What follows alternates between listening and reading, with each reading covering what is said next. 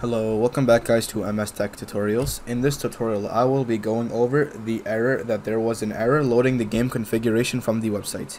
So to get started first you can open up the Windows tab and you're going to type in the Windows tab network view network connections so it's right here. So from there you're going to click on the Wi-Fi. You're going to click on properties.